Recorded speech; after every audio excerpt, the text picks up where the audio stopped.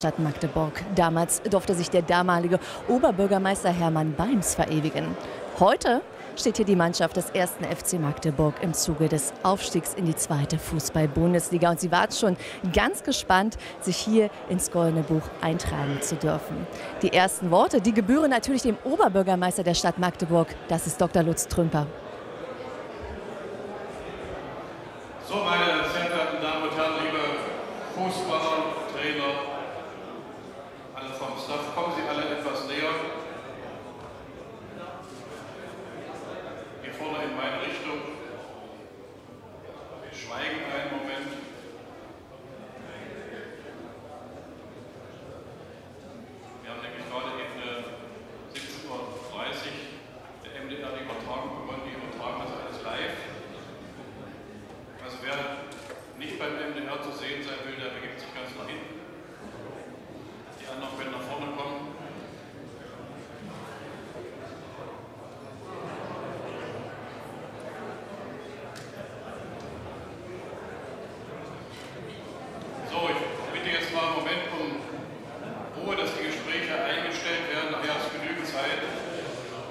zu reden.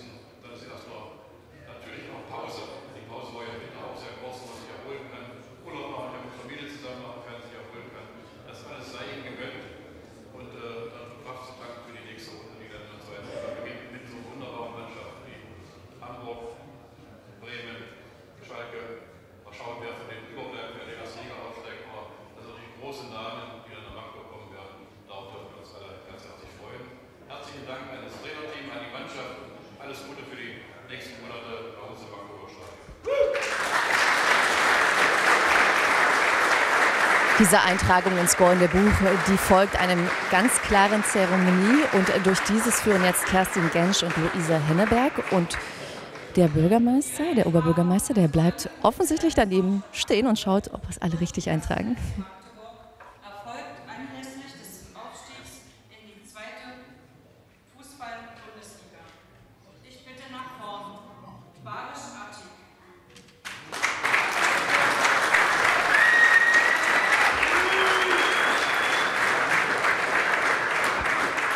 Barisch-Artig, also der Drittliga-Rekordscorer, ist der Erste, der sich eintragen darf ins Goldene Buch der Stadt Magdeburg und wurde hier begrüßt mit tosendem Applaus.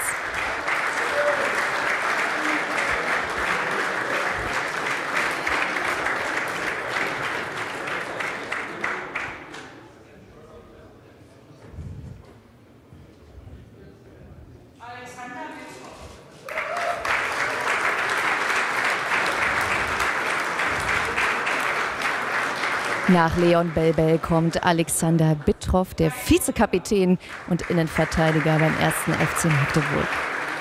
Wir sehen das große, breite Lächeln, das er hat.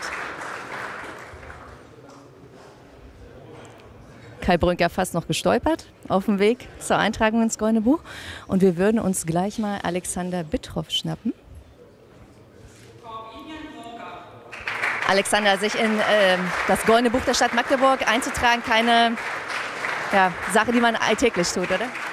Nicht alltäglich, für mich ist es das dritte Mal, weil äh, in Krefeld und Cottbus war es auch schon mal der Fall. Ja, wir freuen uns alle äh, tierisch auf diesen Moment, dass wir hier uns eintragen dürfen und es ist eine große Ehre.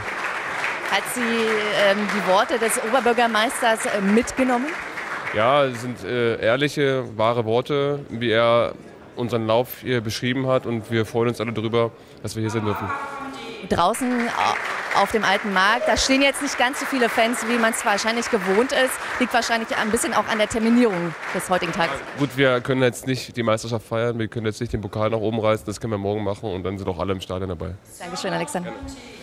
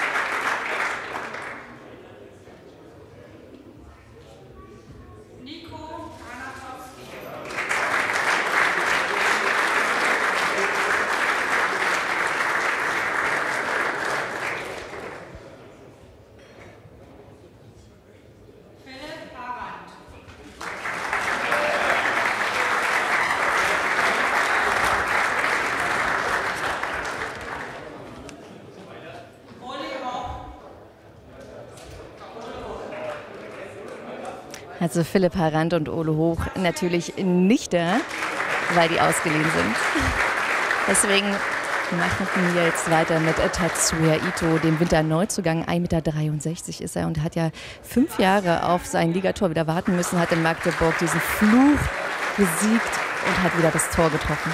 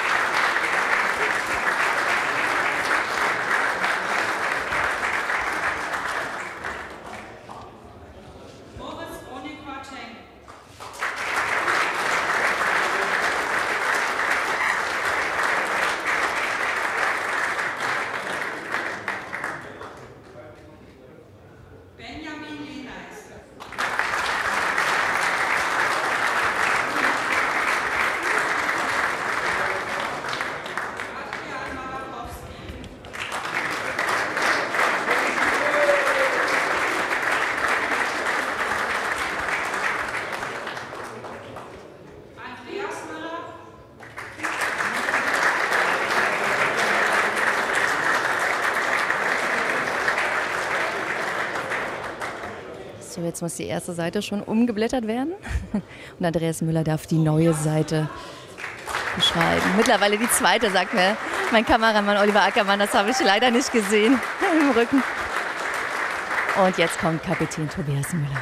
Oh, der hat nochmal ein Geschenk dabei, auch für den Oberbürgermeister Lutz Kemper.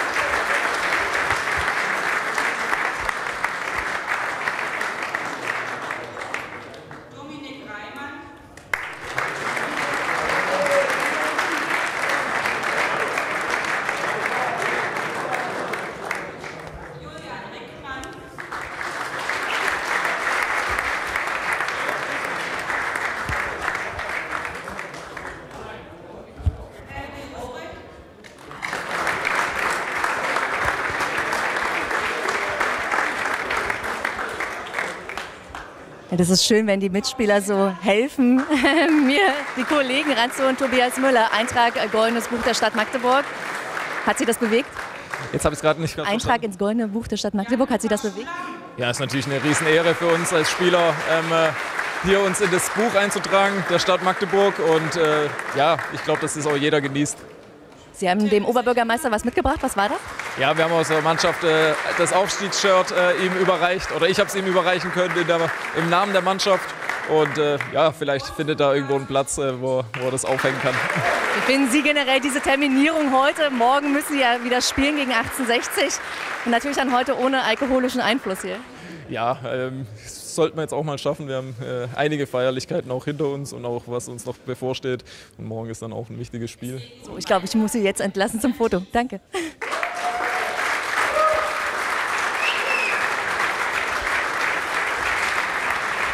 Da kommt da also der Aufstiegstrainer des ersten FC Magdeburg, der Mann, der den FCMS vor dem Abstieg bewahrt hat in der vergangenen Saison und dann dieses Jahr raketenhaft die dritte Liga bestimmt hat. Seit Spieltag Nummer 7 steht Magdeburg unangefochten an Tabellenspitze Nummer 1 und hat das bis zum Schluss gehalten. Deswegen gibt es morgen, Tobias Müller, der Kapitän hat es ja auch schon gesagt, dann den Meisterpokal überreicht vom DFB-Präsident Bernd Neundorf.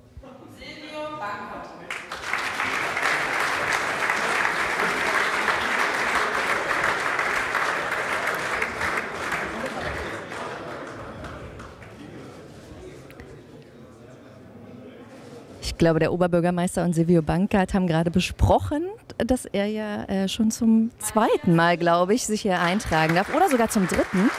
Ähm, ganz die Lippen lesen konnte ich nicht, aber ich nehme mal an, dass es darum ging.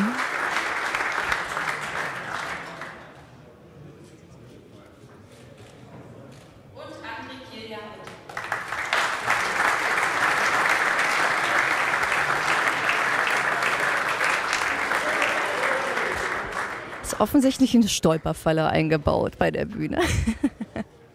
da sehen wir also André Kirjan, die rechte Hand von Christian Tietz. Co-Trainer beim 1. FC Magdeburg. Mannschaft ist durch, Trainer und Stab sind jetzt durch. Ich glaube, jetzt werden die Fotos gemacht.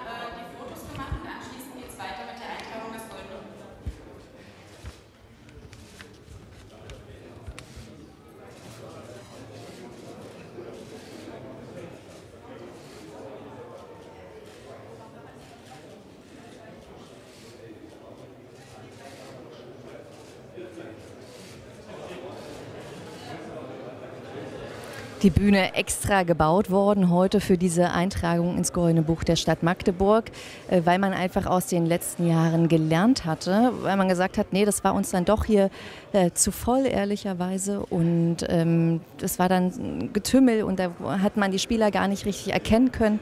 Ähm, und deswegen sind sie heute in die Höhe gestreckt worden durch diese Bühne.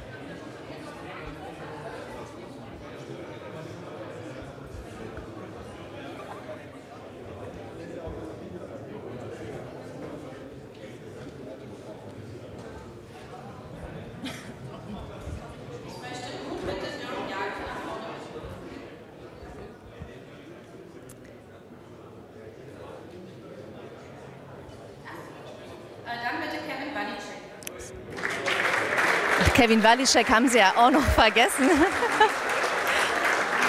Das ist der Videoanalyst beim ersten FC Magdeburg, also der Mann, der wirklich an jeden Tag die Videos aufnimmt, damit Christian Tietz auf dieser Basis äh, dann diese Videos auswerten kann und sich perfekt darauf vorbereiten kann, auf die Spiele.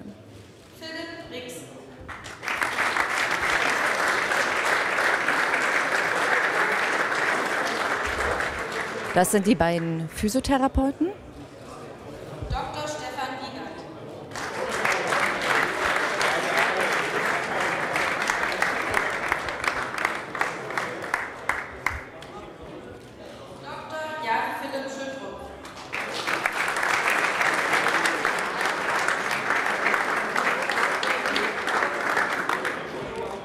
So, die erste Reihe, die muss runterrücken, um ein bisschen Platz zu machen. Gut für uns, weil dann könnte ich gleich mal versuchen, mich heranzuschleichen. Jetzt geht sie wieder hoch. Ich möchte nun Heike Horner zur Eintragung bitten. Barisch war ein kleines Fitnessprogramm jetzt. Hoch, runter, hoch, runter, oder? War ein kleines Fitnessprogramm. Ja, ja, aber es geht. Müssen wir jetzt so akzeptieren, deswegen passt alles. Als erster sich eintragen zu dürfen, ist das eine Ehre? Ich glaube, es ging ja nur äh, um die Wegen der Namen, genau. Ja, wegen den Nachnamen und Artig ist ja, glaube ich, oh, ähm, ja, mein Name ist halt immer als erstes, war schon in der Schule so und hier ist auch so gewesen, aber ja, ist schön. Sind Sie vor solchen Terminen relaxed oder doch eher aufgeregt? Nö, eher relaxed. Ich meine, ähm, es gehört halt dazu, ne, wenn man erfolgreich ist und deswegen passt es. Sehr schön, Dankeschön, Barisch. Zum Foto geht's.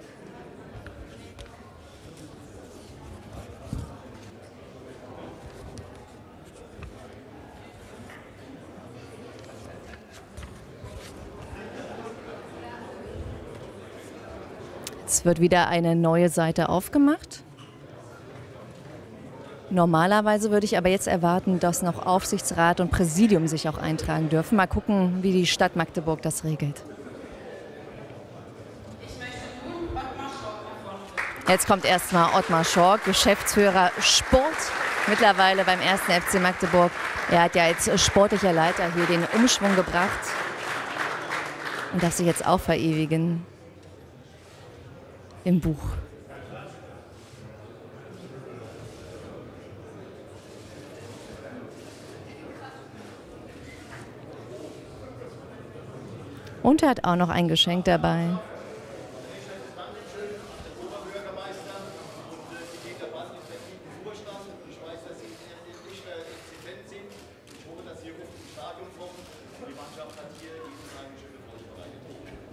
Also ich wiederhole nochmal, falls es nicht zu verstehen war, im Namen der Mannschaft übergibt er jetzt äh, ein Trikot an den Oberbürgermeister Lutz Trümper mit den Ziffern hinten 2022 und natürlich allen Unterschriften vom Team vom 1. FC Magdeburg.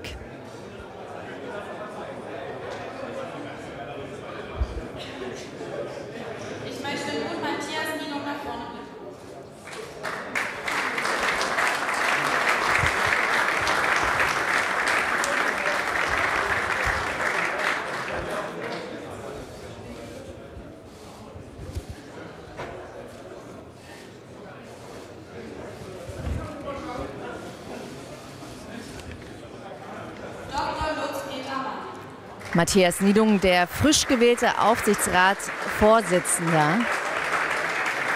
Der Mann, der die Fans vertritt beim ersten FC Magdeburg. Und sein Vorgänger sehen wir jetzt da oben, Dr. Lutz Petermann. Immer noch im Aufsichtsrat, aber halt nicht mehr Chef.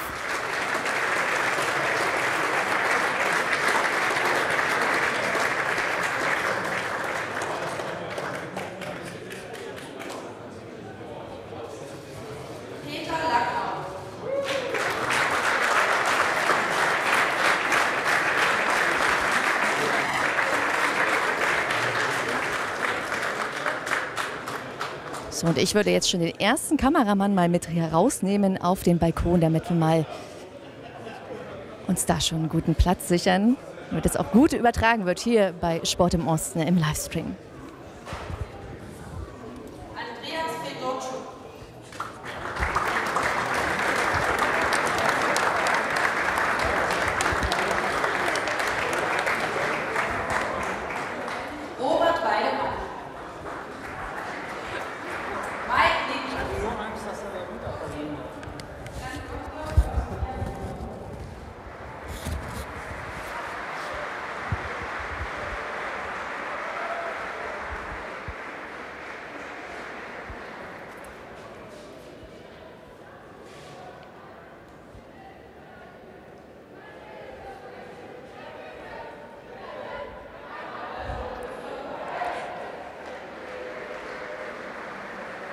Wir hören es also, draußen wird schon gesungen. Ist denn die Elbe immer noch dieselbe? Und wir treten schon mal heraus auf den Balkon.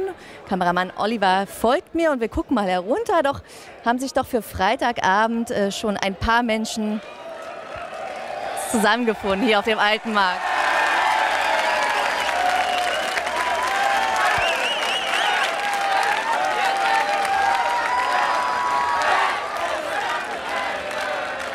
Und gute Laune haben sie auch mitgebracht, offensichtlich. Jetzt warten wir darauf, dass die Spieler, Trainer, Aufsichtsräte und alle herausfinden hier auf diesem Balkon und dann empfangen werden.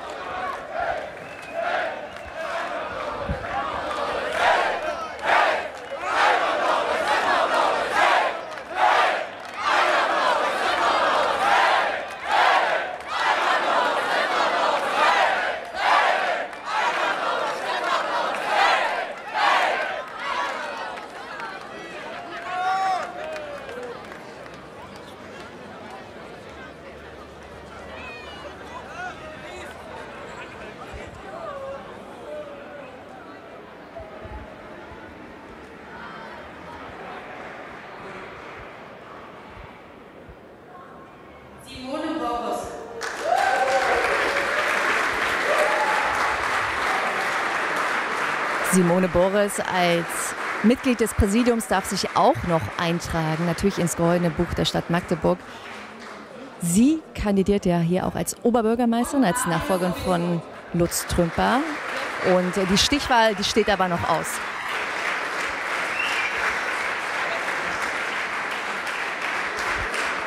Und ihr folgt Marius Sowieslo, dieser Mann, der kennt natürlich auch das Gefühl, wie es ist, sich ins goldene Buch der Stadt Magdeburg einzutragen nach seinem Aufstieg.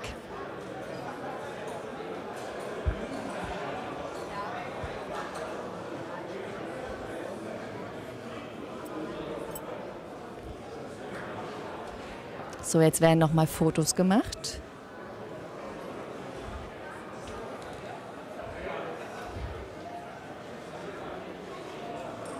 Pressevertreter natürlich auch von allen möglichen Medien vertreten, von der Bildzeitung, von der Volksstimme, von SAW, von Radio Brocken. dass jemand auf den Balkon begeben kann und da sich den Fans zeigen kann. Das ist, glaube ich, ein ganz wichtiger Moment, dass die wirklich auch mitgenommen sind und sich schon einiges. Schon seit zwei Stunden stehen da unten draußen auf euch. Ihr müsst euch jetzt auf den Balkon zeigen. So, wir haben es gerade gehört. Lutz Trüpper hat die Mannschaft aufgefordert, auf den Balkon zu gehen, weil die Fans ja schon seit ungefähr zwei Stunden darauf warten, dass die Mannschaft heraustritt. Und jetzt wird er gleich eintreten, der Moment.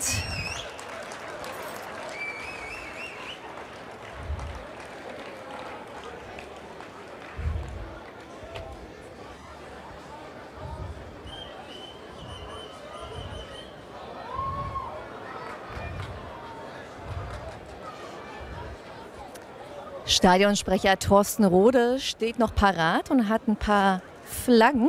Thorsten, was hast du denn hier vorbereitet? gebe einfach nur mal drei, unseren Spielern mal ein paar Fähnchen, damit die mal ein bisschen Fansein spielen dürfen. Oder? Gefühl bekommen. Na klar, also cool. So, jetzt kommen sie. Tobias Müller vorneweg, der Kapitän. Und bekommt gleich natürlich eine Fahne in die Hand gedrückt.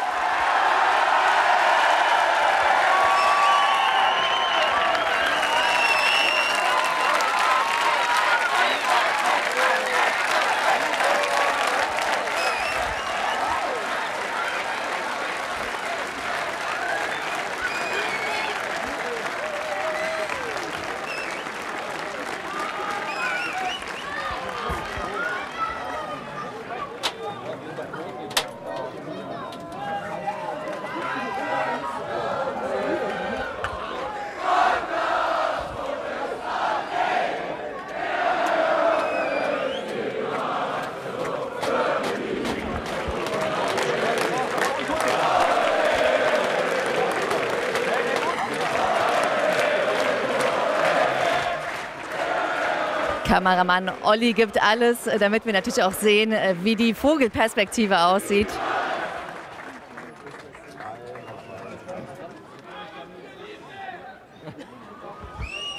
Ich weiß nicht, ob man es gehört hat, aber der erste Fan hat schon gesagt, der Barsch, wir lieben dich. Er natürlich begehrt bei allen möglichen Vereinen Und die Fans, die hoffen, dass er seine Liebe für den ersten FC Magdeburg ja so weit entfacht hat, dass er auch hier bleibt in der kommenden Saison. Frankie ist, Frank, Frankie ist jetzt drauf.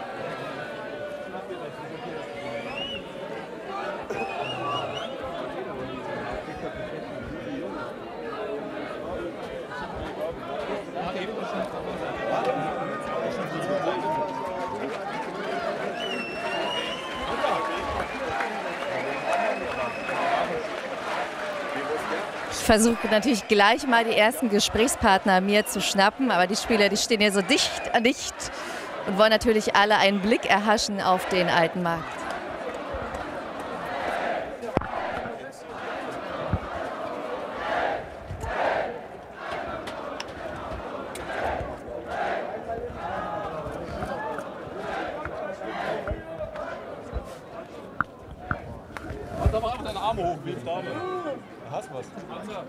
Kai Brünker, der Mann für die Tore von, der will was anstimmen hier, um ein bisschen Fahrt noch reinzubekommen.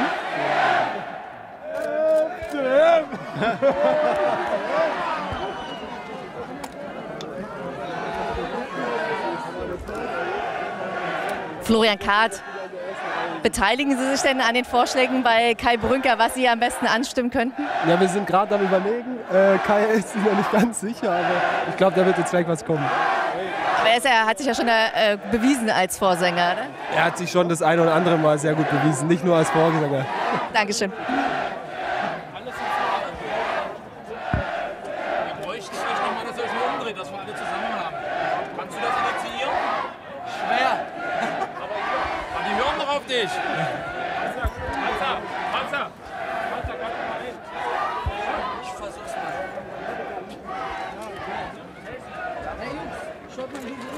So, jetzt legt Kai Brünker los. Achtung.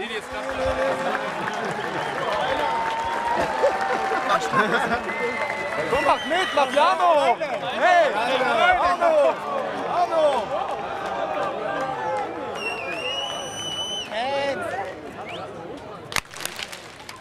Ja, wann machst du jetzt?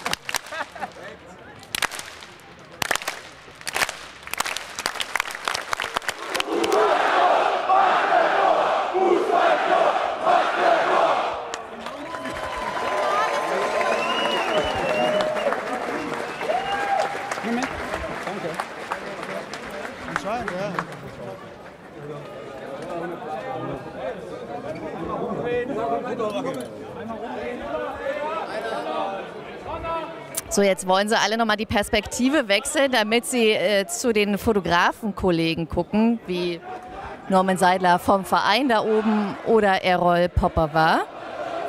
Aber alle raufzubekommen, das wird wahrscheinlich ein bisschen schwierig heute hier. Aber das schaffen sie schon. Und ich versuche mal in der Zwischenzeit, dass ich mir dann nochmal jemand schnappe. Warte. Hey, lass erst alle da schauen, dann alle da.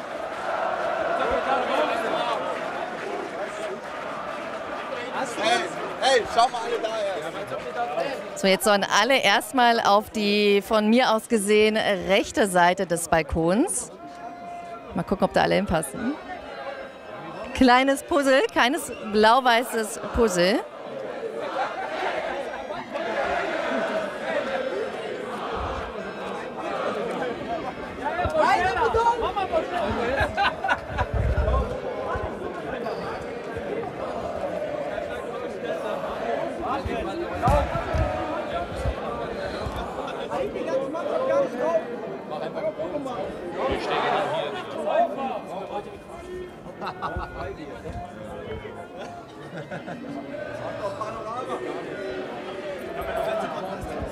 Jetzt kommt also auch noch die Sonne heute raus und wärmt ja den Rathausbalkon der Stadt Magdeburg nochmal auf.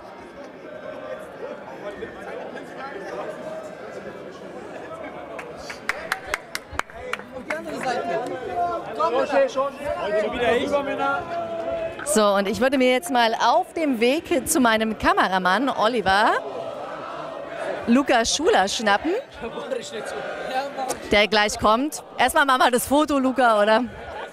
Erst das Bild, das Bild hat Vorrang. Dann wird Lukas Schuler nochmal nach hinten dirigiert von Andreas Müller, muss auch noch ein bisschen nach Größe geordnet werden. Kriegen wir noch einmal Stimmung von euch? Einmal Rabe!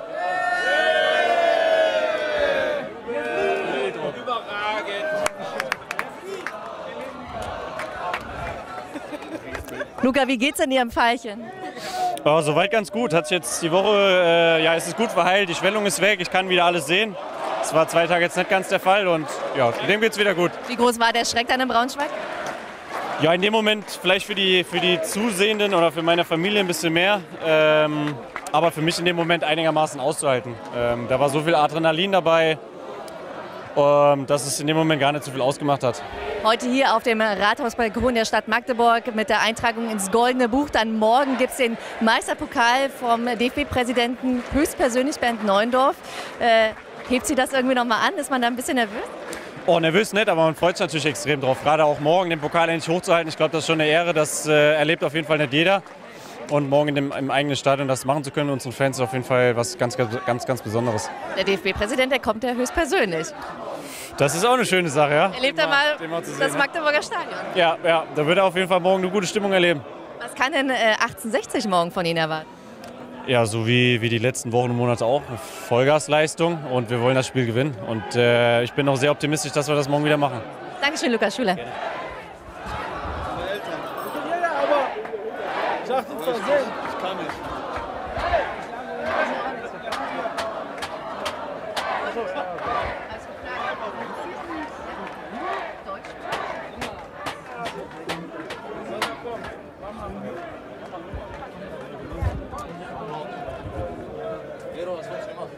Ich schwör's dir von dir. Unterschrift. Warte. Ich hab, ich hab. So, mein Kollege Errol Popper war, der sucht hier noch das perfekte Bild. Errol, ist es gelungen? Auf jeden Fall, mit dem Fischei schon. Hintergrund sieht man. Schöne Jungs. Ja, perfekt. Schönes Wetter.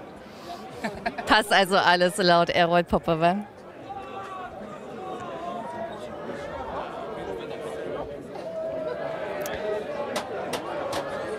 Natürlich heute nochmal genannt, äh, die Terminfindung etwas äh, schwierig, glaube ich, aufgrund von Urlauben. Deswegen der alte Markt heute nicht so gefüllt, wie man es vielleicht morgen hätte erwarten können oder auch äh, kommende Woche nach dem letzten Spiel gegen Osnabrück.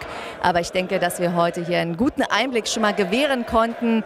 Ja, zum einen natürlich wegen des Eintrags in das Goldene Buch der Stadt Magdeburg und zum anderen natürlich die Ehrung durch die Fans hier auf dem Rathausbalkon in Magdeburg. Wir sagen lieben Dank fürs Zuschauen und bis ganz bald hier bei Sport im Osten im Livestream. Ciao.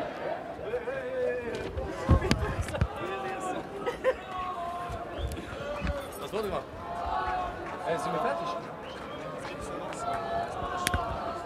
Sag mal.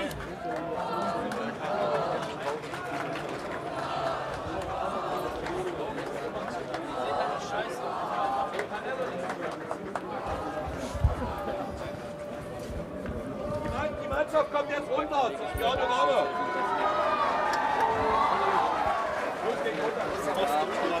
Thorsten, komm du am Löwe. Komm. Wir gehen jetzt runter noch ein bisschen feiern. Genießen Sie das, was da unten ist. Wenn es in der Woche nicht ganz so viel wie es vielleicht möglicherweise morgen gewesen wäre. Trotzdem, ich sage nochmal Komplimente und alles Gute für die ganze Ach, Sabrina. Hallo. Hallo. Können wir auch noch mal ein Interview? Wir stehen nur leider auf der Olli, die gehen jetzt runter, aber wir würden mit Christian Tietz jetzt hier. Martin, kannst du mal mit mir kommunizieren, ob ihr soweit wärt für... Okay, pass auf, dann warten wir noch, bis die Mannschaft unten ist. Dann haben wir vielleicht ein bisschen Stimmung und dann würden wir anfangen mit Frank unten. Macht, wenn die Mannschaft runterkommt und wir würden dann mit dem Gespräch mit Christian Tietz loslegen. Wenn das Ordnung ist. Ja, so wäre der Plan, Martin. Nee, wir haben beendet. Ja?